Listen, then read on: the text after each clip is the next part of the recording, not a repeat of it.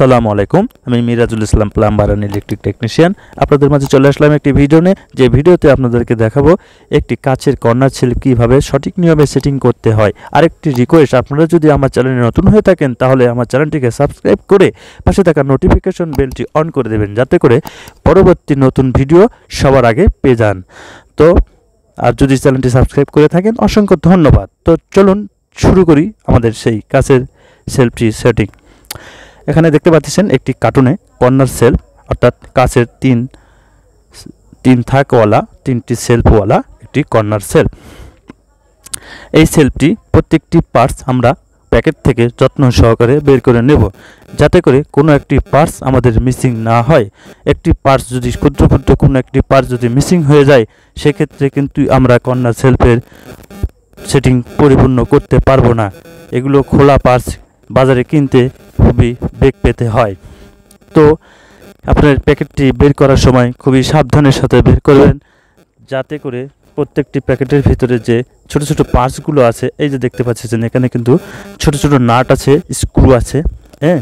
এগুলো আপনাদের সেটিং করতে কাজে লাগবে। তো এগুলো ছাড়া আপনি কর্নার সেল পরিপূর্ণ সেটিং করা যাবে না। এখানে দেখতে পাচ্ছেন তিনটি কাচের সেলফের কাচের টুকরা। এগুলো আমরা স্ট্যান্ডের পরপর তিনটি জায়গায় সেল ক্লামের মাধ্যমে আটকাবো। এই যে আমরা প্রত্যেকটি সে কাছের সেলফি পলিথিন থেকে আমরা বের করে নিচ্ছি। এই যে আমার কাছে দেখতে পাচ্ছেন একটি আপনার একটি সিলভার কালারের হোল্ডার বলতে পারেন বা কাছের ক্লাম বলতে পারেন। এটার মাধ্যমে আমরা তিনটি যে ক্লাম গ্লাস আছে সেলফের সেলফের গ্লা, কাছের গ্লাস সেলফ আছে, এগুলো আমরা ওই দুইটি লম্বা স্ট্যান্ডের সঙ্গে আটকাবো। তার জন্যে আমরা এই যে ছোট ছোট সাদা, আপনি তখনও বলছিলাম যে গুরুত্বপূর্ণ বিষয়, এই যে ছোট ছোট জিনিসগুলো, দেখেন এগুলো একটা হেরে গেলে কিন্তু আর কোনো সেলফ লাগানো যাবে না। দেখেন ওই যে ছোট ছোট নাট দেখতেছেন না? ওই যে ছোট ছোট নাট হলো এগুলো প্রত্যেকটি ক্লামের জন্য স্ট্যান্ডের সঙ্গে আটকাতে হবে, সেজন্য তিনটি ক্লামের দুইটা করে ছয়টা, এই যে দুইটা করে নাট আছে এবং প্লাস্টিকের নাটও আছে যেগুলো ওগুলোর সঙ্গে আটকাতে হবে, ঠিক আছে? এই যে দেখেন আমরা প্রত্যেকটা, এই যে নাটগুলো এইভাবে সুন্দর করে আটকে নিতে হবে যাতে করে আমার কাজের ওই সেলফ সেটিংয়ের সময় যত অত বেগ পেতে না হয়। হ্যাঁ এই যে দেখতে পাচ্ছেন প্রত্যেকটা সাদা নাটগুলো আমরা স্ট্যান্ডের সঙ্গে অর্থাৎ গ্লামের সঙ্গে লাগিয়ে নিলাম। এখন আমাদের যে তিনটি ব্র্যাকেট আছে সে তিনটি ব্র্যাকেট এবং প্রত্যেকটি ব্র্যাকেটের সঙ্গে দুইটি করে স্ট্যান্ড মানে সরি যে ক্লাম গ্লাসে যে ক্লামটা আছে, ক্লামের দুইটা ছিদ্র থাকে এবং স্ট্যান্ডের দুইটা ছিদ্র থাকে। তাহলে প্রথম ছিদ্রটা আমরা ব্র্যাকেট লাগাবো, দ্বিতীয় ছিদ্রটা রাখব আমরা স্ক্রু দিয়ে ওয়ালের সঙ্গে আটকানোর জন্য। এইভাবে আমরা সুন্দর করে মিল করে রেখে দেব। দেওয়ার পরে এই যে ক্লামটা দেখতে পাচ্ছেন গ্লাস আটকানোর যে ক্লামটা, এটা আমরা এভাবে সুন্দর করে মিল করে নেব। নেওয়ার পরে আমরা এইভাবে একটি ব্র্যাকেট নিয়ে ব্র্যাকেট নিয়ে এভাবে কাছে যে সেলফ আছে সেলফ আটকানোর যে ক্লামটা আছে, সেই ক্লামের সঙ্গে এইভাবে মিল করে নেব। নিয়ে এভাবে দেখব যে সব কিছু মিল আছে কিনা, ঠিকঠাক আছে কিনা। এইভাবে আমরা থাকলে সব মিলিয়ে নিয়ে এই যে স্ক্রুটা দেখতে পাচ্ছেন, এই স্ক্রুটা কিন্তু এই যে এটার সঙ্গে প্যাচ নেবে। আর ওগুলোর সাথে কিন্তু প্যাচ নেবে না। তাই এটা এইভাবে সেটিং করে, এটা এইভাবে ধরে অপর পৃষ্ঠ দিয়ে সুন্দর করে নাটটি লাগাই দিতে হবে। নাটটি সবসময় লাগানোর সময় খেয়াল করবেন, যেন ইজিভাবে ধরে যদি বাঁকা ধরে সেই অবস্থায় যদি আপনি টাইট দেন, তাহলে পেঁয়াজ নষ্ট হয়ে যাবে। চিন্তা দেখতে হবে যে ইজি ধরলো কিনা। ইজি ধরলে সেইভাবে সুন্দর করে আপনি টাইট দিয়ে দেবেন এবং অতিরিক্ত টাইট দেবেন না, যার ফলে পেঁয়াজটি নষ্ট হয়ে যায়। দেখবেন যে নড়াচড়া না করলেই যথেষ্ট। এগুলো যেমন তেমন এগুলো সিলভার বা হালকা হওয়ার কারণে এগুলো কিন্তু অতটা টাইট বা প্যাচগুলো মজবুত হয় না। ঠিক আছে? এগুলো খুবই যত্ন সহকারে লাগাতে হবে। আপনি খেয়াল রাখতে হবে যে আমার নড়াচড়া বন্ধ হয়েছে বা অতি যথেষ্ট। এর চাইতে বেশি টাইট দেওয়া যাবে না। এইভাবে পরপর ক্লামগুলো সুন্দর করে আমরা সেটিং করে নেব। হ্যাঁ এই যে দেখেন, দ্বিতীয় দ্বিতীয় ক্লামটাও আমরা এইভাবে লাগিয়ে নেব। হুম, দেখেন, ঠিক একই নিয়মে লাগা নেব যেন, আর একটু ইজি রাখতে হবে যাতে পরবর্তী স্ট্যান্ডটা লাগানোর পরেও যাতে আমরা সব কিছু লেভেল আনতে পারি, সোজা করে নিতে পারি। এখনই ফাইনাল টায়ার দেওয়া যাবে না। এখন আপাতত সাজিয়ে নিচ্ছি। প্রত্যেকটা এভাবে সাজিয়ে নেবেন। একটা অংশ সাজানো হয়ে গেলে পরের অংশটুকু আবার প্রত্যেকটার সঙ্গে একই নিয়মে লাগিয়ে দিতে হবে। এই যে দেখেন এটাওকেও ওইভাবে সুন্দর করে লাগানো নিচ্ছি। ভিডিওটি টেনে দেখবেন না না টেনে মনোযোগ সহকারে ভিডিওটি দেখুন, তাহলে গুরুত্বপূর্ণ তথ্য বিষয়গুলো মিস করবেন না। এখানে যে দেখতে পাচ্ছেন, আমার কিন্তু একটা একশো অংশ পুরোপুরি লাগানো শেষ।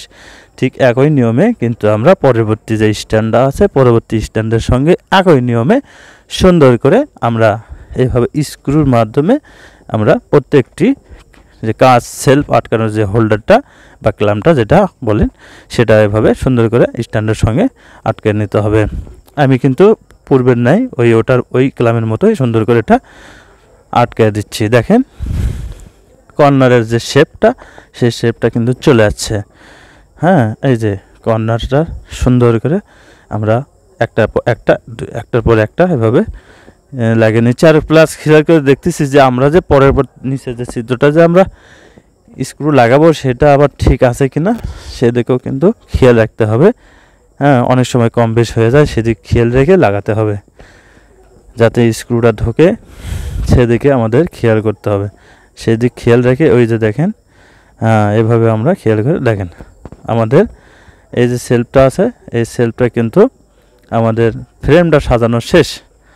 এখন আমাদের এই কর্নার সেলফের ফ্রেমটি আমরা যেখানে লাগাবো সেই জায়গাটা নির্ধারণ করে নিয়ে এইভাবে ওয়ালের সঙ্গে সুন্দর করে ধরে যে জায়গাগুলো আমরা স্ক্রু লাগাবো সেই জায়গাগুলো মার্কার পেন দিয়ে, সাইন পেন দিয়ে, এরকম সাইন পেন দিয়ে যেরকম দেখতে পাচ্ছেন, তবে সাইন পেনের যে, যেটা দিয়ে দাগ তোলা হয় সেটা একটু বাড়তি করে নিয়ে প্রত্যেকটা জায়গায় সুন্দর করে দাগ তুলে এই যে দেখতে পাচ্ছেন দাগগুলোতে আমরা মার্কার পেন করে নিই আর পরে ডিল করে নিয়েছি সিক্স পয়েন্ট ফাইভ বিট দিয়ে। দেওয়ার পরে প্রত্যেকটি এই পাশে তিনটা ছিদ্র, ওই পাশে তিনটা ছিদ্র। এই যে দেখতে পাচ্ছেন স্ক্রু লাগানো হচ্ছে। এই স্ক্রু লাগানো হয়ে যাওয়ার পরে আমরা তারপরে সেলফগুলো লাগাবো। দেখেন আমাদের যে ফ্রেমটা আছে, এই ফ্রেমটি কিন্তু আমাদের ওয়ালের সঙ্গে আটকানো হয়ে গেল।